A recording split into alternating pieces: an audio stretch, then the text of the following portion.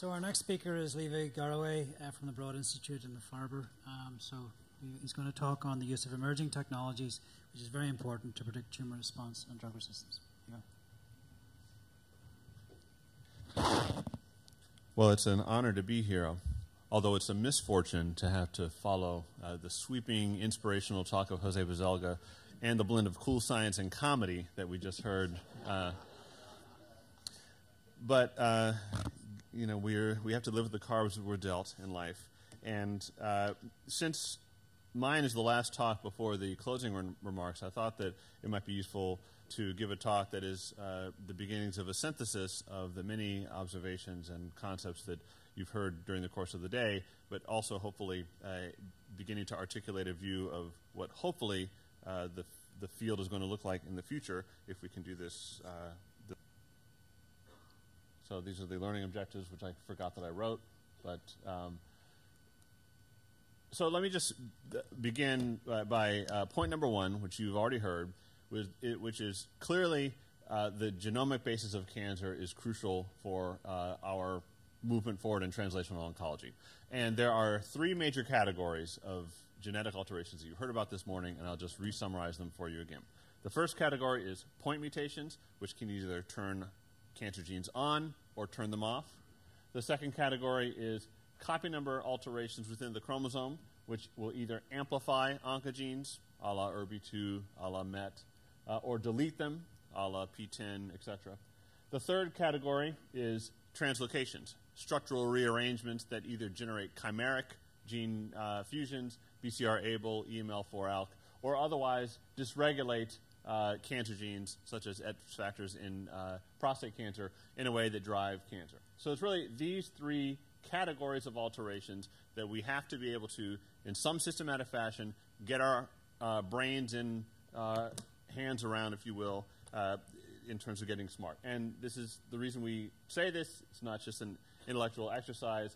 It is the uh, a, a, paradigm shift in the field, which arguably, uh, Bruce could probably comment on this better than me, might be the largest since the advent of chemotherapy in the first place. The, the, the shift of not just being empirical in our treatment of cancer based on the anatomic origin, but rather moving towards uh, an era where the genetics take an equal if not a superior seat at the table because of two cardinal factors. One is the, and I've just obviously listed a few examples, but the dizzying number of targeted therapeutic agents that are now emerging, which in principle give us the ability to extinguish uh, many of these uh, crucial pathways that you've been hearing about. So, that's the, so it's the proliferation of targeted agents together with the knowledge of the importance of genetics. And, uh, and this will be the major focus of my talk, it is the advancement of technology, the ability, in principle, to take any patient who comes to the door and read out the salient genetic alterations in a manner that will specify the use of, these, of such agents. So we can therefore articulate a vision to personalized cancer medicine, not to overuse the term, where each patient will come in at the time of biopsy or, uh, or uh, as a result of some procedure. The genetic material will be extracted uh, and what will be gleaned is a matrix of salient genetic alterations uh, together with uh, available targeted agents. And so the notion is that if a patient comes in, regardless of where in the body their tumor has occurred, and they are found to have a mutation that might predict responsiveness uh, to a, a, targeted agent, this patient who may uh, have uh, who may either have already failed standard of care or will be anticipated to fail standard cytotoxics ought to be given a shot at, at such an agent, even if even in instances where uh, it's not part of the label, etc. So this is the notion uh, that we are all moving towards. So, and it's it's a compelling notion. But there are a whole series of questions that lie beneath the notion. And it's easy to sort of talk about genotyping everybody, uh, but I just want to unpack some of these issues and lay them out as challenges, but also as opportunities for translational research and, and also uh, thoughtful uh, clinical trials going forward? And the answers are not clear to all of us, but, but, but it's clear that we need to be thinking about this. So, one question is which technology, which platform should we use to genotype patients? I actually don't like the term genotype, uh, but I'll uh, speak to why I don't like that in, in, a few minutes. But one of the observations that uh, has led to the first generation of personalized medicine was the recognition that for the typical oncogene point mutation, the spectrum of mutations that occur are not random. So here are three examples. One could give many more. In RAS, there are three codons, codons 12, 13, and 61, that easily account for 99% of all RAS mutations in cancer. Similarly, BRAF, really codon 600 in melanoma is, is the most important, but there are another couple of dozen or so that easily account for almost all of the BRAF mutations you see. PIK3CA, it's the same kind of thing. A couple of dozen mutations, 80 plus percent of incidence. So what that means is that for, for, from a first approximation, genotyping was an appropriate term because this reduced the problem from having to sequence a whole bunch of genes in every patient at a time when it was still prohib- prohibitively expensive to do so to a genotyping question where uh, the, uh, where one could cobble together assays that read out those salient, highly recurrent point mutations in the most low-hanging fruit of oncogenes and, uh, and could uh, achieve quite a robust set of information. And so this is a summary of work that's come out of our group, but of course there's uh, similar work that's been done here at MGH uh, with Snapshot, which basically finds a couple of points. First, when you take thousands of cancers now, uh, and you take a list of several hundred uh, assay, genotyping assays for oncogene point mutations or cancer gene point mutations, you can see sort of two patterns. There are the mountains and the hills. The mountains are the, the, the peaks of frequency uh, of particular gene mutations and particular cancer types that we already know about the EGFR and lung cancer, the BRAF and melanoma. But the hills are what really got us excited early on. The hills are the presence of, of plausibly druggable or actionable mutations that, are, that occur in cancer contexts where you wouldn't normally look for them. But they, if you knew about them, they might be game changers, at least in terms of an option that you could give to a patient that you otherwise can't give. So th- it was this notion that if you could cobble together a way of reading out the salient genetic information in a robust and cost effective manner that one ought to be able to do good in terms of patient stratification, uh, designing smarter clinical trials, and just generally giving more patients the opportunity to benefit from targeted agents, and conversely, uh, avoiding the use of targeted agents where uh, they might be predicted to fail. So, for example, if you saw RAS mutations and you might have been thinking about giving an EGFR inhibitor, uh, even though it's not lung cancer, you might still think twice about doing so. So, it's this notion that's given that's gotten us started at many cancer centers in terms of uh, bringing in a technology that can enable personalized medicine. But although the technology has gotten us started, it is clearly insufficient to get us to the finish line. So this is why I'm not in love with the notation, uh, the, the genotyping is the term. Because what we really need to do uh, at the end of the day, in, in, light of what I told you at the beginning of the, the major categories of genetic alterations, each of which has been shown to enact druggable uh, alterations, we need to go a lot further. Now, one is purely a technical issue. In the real world, it's not sufficient uh, to just uh, to have an assay that is uh, that has that's constrained by uh, sensitivity and breadth of only the highly recurrent mutation. We need to be very sensitive and specific, and arguably go quite deep. So uh, the, the, the, mention of the, the, heterogeneity of tumors and the fact that mutations can exist in subsets, uh, and just in general, the stromal admixture, we need to be able to go quite deep to read out the, the information we can't stop at the low-hanging fruit oncogene mutations. We need to go into tumor suppressors. We need to be able to find PTEN deletions and, and, uh, and loss of function mutations, NF1 loss of function mutations, the, the kinds of things that we know are just as decisive in dialing up the pathways as are the oncogenes, but we don't look for them now because we can't. So we need to get better than that. We need to read out the multiple, the, the multiplicity of alterations, the amplifications, deletions, and translocations. We need to read all of that out in one fell swoop because we know that the, the, emerging data suggests that just like the hills and mountains that I showed earlier, there are the similar patterns uh, in terms of alterations and amplifications that are distributed across cancer. We need to be able to read those out as well. And we need to apply this in the real world. We need to uh, make sure that it's working robustly in, uh, in the clinic with uh, appropriate turnaround time, et cetera. So that's what the world needs to look like at the end. And so now the question is how are we going to get there? So anybody who's been following genomics technology over the past several years can easily uh, recognize that massively parallel sequencing is an excellent candidate as a technology platform that could get us to the promised land, if you will. And, the, and in fact, I, I've been to several meetings now where I've heard people make these comments that, oh, you know, in a couple of years, we'll just be sequencing the genome of everybody's cancer, and it'll be a point of care test. We'll just have the information in the patient's medical record. That's as though it's a foregone conclusion that massive parallel sequencing and sequencing the entire cancer genome is where we're going to be in a couple of years. And in fact, I've had patients call me to ask, can I get my genome sequenced? And where can I get it sequenced? And why can't I get it sequenced? So the argument uh, for this is actually quite compelling on paper. The technology and the rate of expansion and, and, and what's possible continues to make great leaps. So currently, if one wants to sequence the entire genome, the uh, target coverage is about 30-fold deep in the cancer uh, and 30-fold deep in the matched normal. That allows you to call the mutations with appropriate confidence.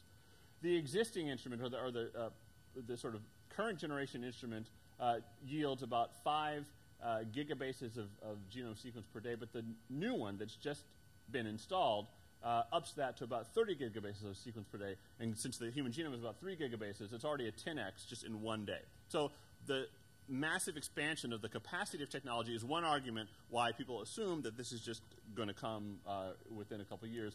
The, the, other argument is the concomitant drop in cost. So this is a, a, graph that sort of is plotting the cost that it would take uh, to sequence a, a, single, a given base in the genome in U.S. dollars over the past couple of decades, compared to Moore's law, which is the the increase uh, or the decrease in cost per unit of uh, capacity in the semiconductor industry.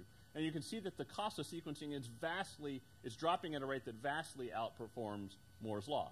And indeed, it uh, would appear, if things continue on this pace, that it'll be possible to sequence the whole genome for a few hundred dollars in a, few, in a, a series of years. So on the face of it, there's a compelling argument that perhaps this will be coming.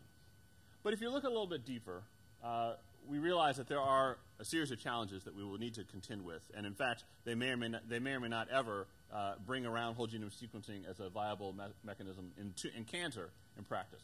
First, achieving the hundredfold coverage that I was arguing that is going to be necessary is not standard currently. So one would need to sort of have a mechanism that one could go several hundredfold uh, as opposed to 30fold. Secondly, doing this in the real world, doing this in archival material, is still very much a work in progress. The turnaround time is on, measured on the order of weeks or months, and the data storage and data transfer costs associated with sequencing the genome are not falling as rapidly as the sequencing costs. In fact, they may be going up because you can generate so much sequencing data, it actually costs more and more to store that data. So uh, this is really one of the biggest costs uh, and, and could end up being one of the biggest impediments to bringing this about. I'll just briefly uh, make a comment about transcriptome sequencing because some have argued, well, why not just sequence uh, the transcriptome? It's uh, much more tidy. It's not doesn't require the whole genome, and it allows one to detect uh, point mutations as well as gene fusions and chimeric transcripts, et etc. But there are also technical concerns here. You have to make a cDNA library out of paraffin. That's not going to be uh, all that straightforward. You can only detect mutations in the most highly expressed genes. Again, we're not going to know about tumor suppressor gene alterations. So just to summarize what I've just been telling you, uh, in terms of the optimal technology, clearly the allele-specific technologies are getting us started, and, that, and that's great. That should proceed. It's also clear that massively parallel sequencing shows considerable promise as a definitive technology. But the widespread application of whole genome sequencing or whole transcriptome sequencing in the clinic in the near term faces both technical challenges, which I just told you about, and conceptual considerations, which I'm about to tell you about. And in particular, one of the conceptual considerations is how do we make clinical decisions using this information? So let me just give an example, uh, a brief example from prostate cancer. So these are two prostate cancer genomes that we sequenced at the Broad Institute over the past year. And what one sees uh, in this, uh, so these are Circos plots, which give you kind of a, a bird's eye view of the genome, and, uh, and uh, I'll point out a couple features in just a second. But the mutation rate, so the overall rate at which you get a one base going to another in these uh, cancers is about one in a million, which leads to about 3,000 base mutations per genome, which then gives you sort of one to three dozen coding substitutions per genome. But you also, uh, as shown by these purple lines and the, and the green uh, hatches here, you also get many rearrangements over 100, between 100 and 200 rearrangements per genome. So you've got thousands of overall mutations, uh, hundreds of coding substitutions and rearrangements. And now the question is, what, how, do we, how do we make sense out of this information in a way that would be clinically actionable? And indeed, when one takes a closer look at the uh, mutations, one sees that most of them are likely to be passenger. There are thousands, probably, of passenger mutations, so they're not consequential biologically to the cancer. Even when you have a coding mutation that changes an amino acid, they're very often in poorly characterized genes, or if you know about the genes, they're, they're poorly druggable. They don't tell you what to do. And even in the cases where you see something that looks like a eureka moment, so for example, in one of the prostate cancers I showed you, uh, and I think Jose just asked this question, there's an HSP90 gene mutation. That's pretty exciting. We haven't seen an HSP90 gene mutation in prostate cancer or, or hardly any cancer. So we can dream up, well, this would be a patient who we would give an HSP90 inhibitor to. But that's a fantasy because we don't know what that mutation does. We don't know if it's a gain of function or a loss of function or if it has any consequence to that cancer patient. So all these things, I'm bringing this up because uh, we, can, we can paint a vision uh, of what technology can do, but what we want to do is to be thoughtful and principled about how we're going to apply this in a way that doesn't drown us, but rather uh, is fully enabling. So uh, to kind of uh, therefore summarize uh, what I've just been telling you, we, we have technology that is incredibly powerful in the discovery space. So uh, in, in, the discovery space, it's fine to be global and comprehensive, and we don't mind being resource intensive, and we know that we're just generating hypotheses that are going to have to be tested, and, uh, and uh, technologies uh, or uh, activities such as the Cancer Genome Atlas and the ICGC will give us a great catalog. But what we are, need to articulate is, is how to constrain that technology that is appropriately targeted and resource efficient and actionable in a way that goes far beyond what we can currently do, but maybe uh, doesn't have to go all the way to uh, global uh, in the near term. So, how does one do that? Well, one possibility, uh, based on recently published data, for how to harness massively parallel sequencing in a more targeted way is enabled by uh, a uh, platform that allows one to design reagents that will pull down the subset of the genome that you really care about. So I'm not going to go through the details of how it's done, but basically you make baits that will be complementary to whatever genes or exons that you might care about in the genome. And with these baits, you hybridize to your uh, target genomic DNA. These baits have biotin. You can, you can pull them down with streptavidin beads. What you pull down goes into the sequencer, and you can sequence much more efficiently uh, in a targeted fashion. And so, of course, for discovery, one uses the whole exome. But we've, in terms of thinking about the uh, moving into the clinic, we've been actually playing around with uh, baits that target a much more kind of rarefied set of genes that we think would be enriched, but still reasonably comprehensive in terms of what one wants to read out. And uh, so Nick Wagle, together with Mike Berger in the lab, have come up with one such gene list, which is, uh, consists of 140 cancer genes, as well as several pharmacogenomic loci, uh, and some other uh, targets that we think are of interest for copy number, uh, have designed baits to look at this. And now the, it's been interesting to apply these in a, a, variety of clinical questions that we think are instructive. So this is kind of your canonical signaling diagram, but this is particularly now the, the diagram that is the working mechanism for targeted therapeutics in melanoma. And it shows a couple of points that we've been hearing over and over again. One is that there are multiple genes that we need to read out. So it's not just about one gene. Not just, it's, it's a whole panel, NRAS, BRAF, uh, AKT, et cetera, RTKs, uh, that are known to be mutated in drivers in melanoma. There are multiple types of mutations to read out. So it's not just the base mutations, it's uh, amplifications uh, of KIT are, are, are, seen in melanoma. Uh, ERBB4 mutations, loss of function of PTEN, loss, deletions of PTEN. So again, it shows, uh, it illustrates how we need a profile platform that will read out uh, multiple genes and multiple types of alterations. And of course, we also understand why it's so important to do this because of the success of RAF inhibitors in the clinic. So with these uh, platforms, so this is an example of, uh, of a uh, way of viewing uh, using uh, an integrated genome viewer that was developed at the Broad Institute. One can now take, for example, melanoma samples and readily detect the not only the point mutations but these small uh, deletions. This is a 21 base pair deletion in KIT, which predicts responsiveness to imatinib and nilotinib, and indeed Steve Hodi at the Farber showed in a case report, and there's now trials going on that uh, inhibiting KIT uh, can indeed induce dramatic responses in melanoma. So the ability to read these kinds of things out in a straightforward manner uh, without uh, sort of uh, being hobbled by some of the challenges with conventional methodologies is important. And as Jeff Engelman mentioned, it's not just about reading out at the beginning of the cancer what to use, but also what to use in the setting of relapse. Uh, this is uh, a summary of a study uh, that Jeff mentioned to you, where we, with knowledge that came out of in vitro of what kinds of mutations in MEK would occur in the setting of a MEK inhibitor, taking patients who had experienced some degree of transient response to a MEK inhibitor, sequencing deeply into the MEK1 exons, and with this, finding the presence of a mutation that turned out to be present in a post relapse sample but not in a pre-treatment sample, uh, thereby uh, illustrating not only uh, a mechanism of uh, on target resistance to MEK inhibitors, but also a, uh, uh, the, importance of using uh, massively parallel sequencing, not just at the beginning where one needs to read out the genetic alterations that might be leading to something that's addictive that could be targeted, but also in principle at the point of relapse so that we can read out at least some subset of the alterations of the type that Jeff mentioned that might be relevant in a whole variety of cancers. Okay. So then the question is will deep sequencing, i.e., massively parallel sequencing, be successful in the real world? Can we do this in paraffin in the way that we could do with genotyping and some of the earlier generations? So I'm just going to show a, the results of a brief pilot experiment that we're using not just the targeted capture, but also a couple of additional tricks wherein when one is preparing the DNA for the uh, capture, you can append a molecular barcode onto every fragment of DNA that's going to be sequenced so you can know exactly which sample you're sequencing, and then you can pool those samples together so that you're sequencing many samples in a single lane as opposed to few, and that the number that you pool uh, will drive the cost down proportionally.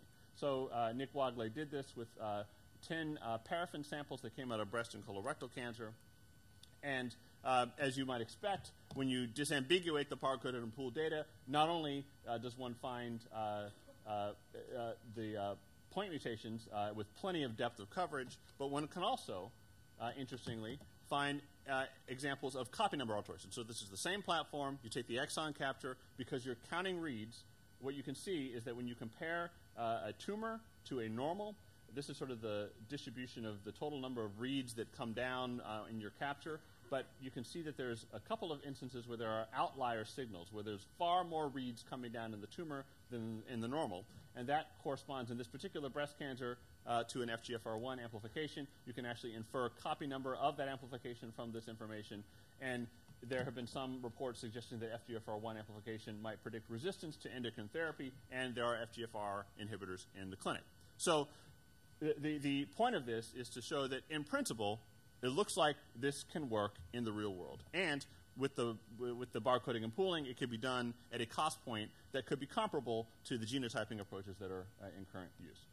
So then there's the issue, uh, and this, this is not going to be thrown out with any, uh, any pretension towards an answer, but the larger question of how are we really going to know if the categorical approach, where we take 100 or 200 genes and we read out the spectrum of mutations and we get that back and we use a targeted agent. How are we going to know that doing all that is in fact benefiting patients? And in what context is it benefiting patients?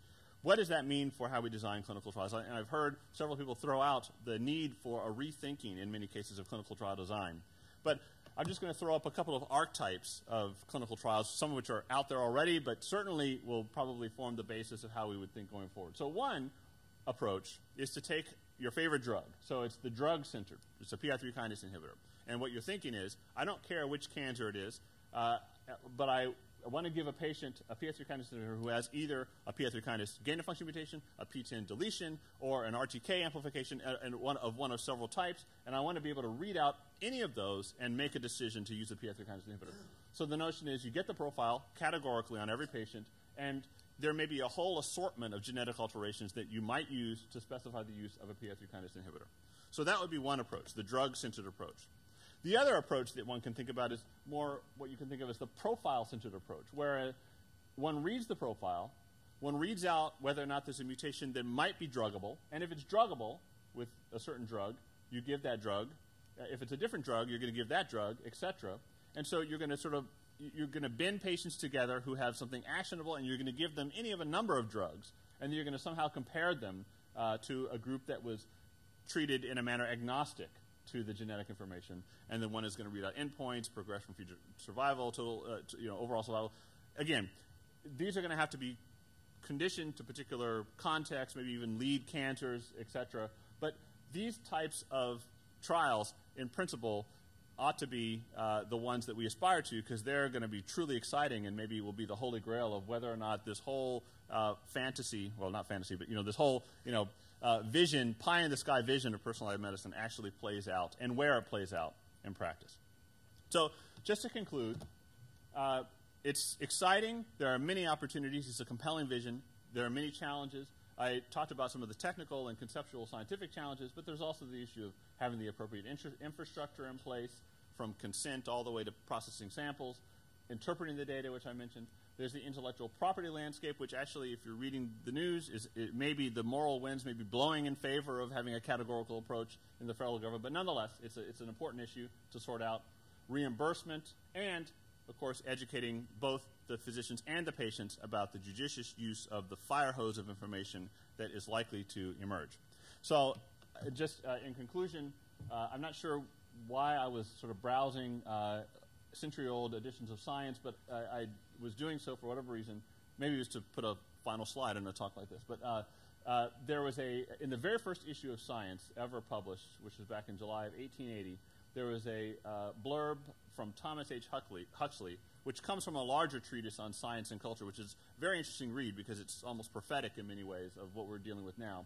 But the last line in this blurb says, an industry attains higher stages of its development as its processes become more complicated and refined, and the sciences are dragged in one by one to take their share in the fray. So, translational oncology is becoming incredibly complicated with the knowledge and the drugs and the technologies, and yet the, uh, the ability of science to sort of take uh, a seat next to the clinicians and work together is creating incredibly exciting opportunities, and hopefully we'll all live to see the fullness of those benefits in the next several decades. And I'll conclude by pointing out several people uh, who have done this work. Mike Berger and Nick Wagle have done much of the massively parallel sequencing, and Mike also led the prostate cancer genome sequencing. Uh, Carrie Emery, uh, who's not bold, has done the MEK uh, mutation analysis many colleagues at the Broad Institute and the Center for Cancer Genome Discovery at the Dana-Farber as well. Thank you.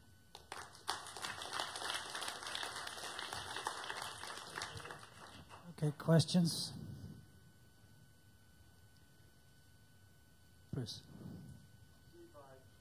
Explain to me what, or explain to all of us maybe, but particularly to me, what does it mean to be massive and parallel? So seem like odd words. They do seem like odd words, and I, and I, didn't go into the details of how the technology works, but essentially, what happens is that the, the DNA before you sequence, you fragment it so that it's now about 400 or so base pairs in length, and you ligate universal uh, primers onto either end, and then that library now is seeded into a, uh, a flow cell onto which there's a lawn that is uh, sort of complementary, so uh, the, the individual molecules can land, and then there'll be, uh, there'll be clusters that are generated by uh, cycling. And finally, at the end of the day, you have all these clusters that have formed, and you flow in nucleotides, they come onto each cluster, they're imaged, and so it's a sequencing by synthesis. So millions of clusters are being sequenced in parallel. So it's massive because it's millions, and it's parallel because there are clusters of reads that you're kind of reading at once. And you aggregate all that together. And that's why you can sequence deeply, because you're getting millions of independent reads that have come from the input DNA that went into the system.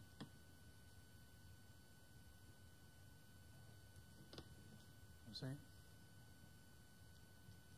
So something that is fascinating is, yeah, I mean, the frequency of mutations, rearrangement, fusions, deletions in a given tumor is, is I mean, the, you show these cases in, in, in prostate, and I think this probably applies to everything else. And, and, and yet, you know, um, so there's some debate.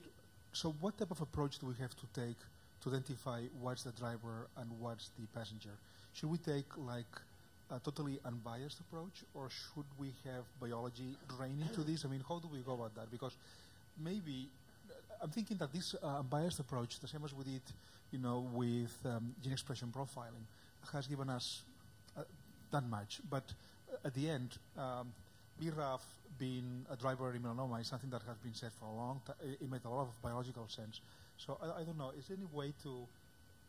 But I'm asking, is there any way to rationalize uh, this driver versus passenger uh, alteration to make our lives easier? Yeah, it's a great question, and uh, it's it's hotly debated at many of these genome centers with the catalog of information that's going that's coming forward. How do we? Are there any principles that we can use to say these are more likely or less likely to be drivers? So certainly going beyond the first order frequency based. Okay, we see it piling up. If it's recurrent, it must be a driver. There's now a recognition that it may be that even though a given gene is mutated uh, at, at very low frequency by itself, if one looks at members of a pathway or a biological process, uh, there one can start to add up mutations and see that the process gets mutated in a way that if you just looked at single genes, you wouldn't have called them significant. So that may be another way of, as our ability to map the mutations onto biological knowledge grows, to say, okay, maybe this process is required, um, and this is another way to get at drivers. But I agree with you that at the end of the day, we need to marry the genomics with uh, systematic functional approaches using, for example, the cell lines, such as have been mentioned, or you know other uh, preclinical models that can allow us to both find uh, instances that are tractable where we see these mutations, or otherwise model them. Uh, I think there's no way to do it with just the genomic information. Uh, question on the material selections. As you know, the tumors or what the samples given to you is pretty much heterogeneous from the surgeon's hands or from whoever given to you. So how do you pre-select them before you enter this powerful machine? Because you put it in something that can spill out billions of information, and you have to process them. If you can simplify simplify the process to pre-select that tissue, so the vascular part or tumor parts or mesenchymal matrix, do you have some suggestions on that? I mean, Yeah. most of the instructions for clinicians or for surgeons to work with you so to make your job easier as the sample is given you to be cleaner in some ways. Yeah, it's, it's a great point. You're kind of stuck with the sample that you're given. And uh, so there, so you could be very sophisticated about it, or you could be uh, simplistic. I think you know what we've seen is that if it, if the if there's a robust amount of tumor and you can just core out the tumor-rich area, and you at least know that your tumor material, your tumor cellularity is 50% or greater, you're good um, for a lot of this. Now, as you go down in tumor cell in tumor specific cellularity, the uh, amount of coverage that you need to get to the bona fide tumor material goes up. So you know you kind of have to toggle that. And you know you can imagine that with in collaborative studies with surgeons and pathologists uh, that, that sorting cells and using various markers could be quite useful. Um, but I guess it's from a clinical application standpoint, one wants to think about doing as little of that as possible um, so that you can get this information out. But certainly from the standpoint of discovery and, and understanding uh, the, the extent to which there's heterogeneity that matters, uh, I think these kinds of studies would, be very useful. I didn't mention also that this obviously, the depth of coverage issue obviously may have applications to characterizing circulating tumor cells, which is something that I think many people are very interested in working out. Thanks, Levi. I think we'll leave it there just in the interest of time.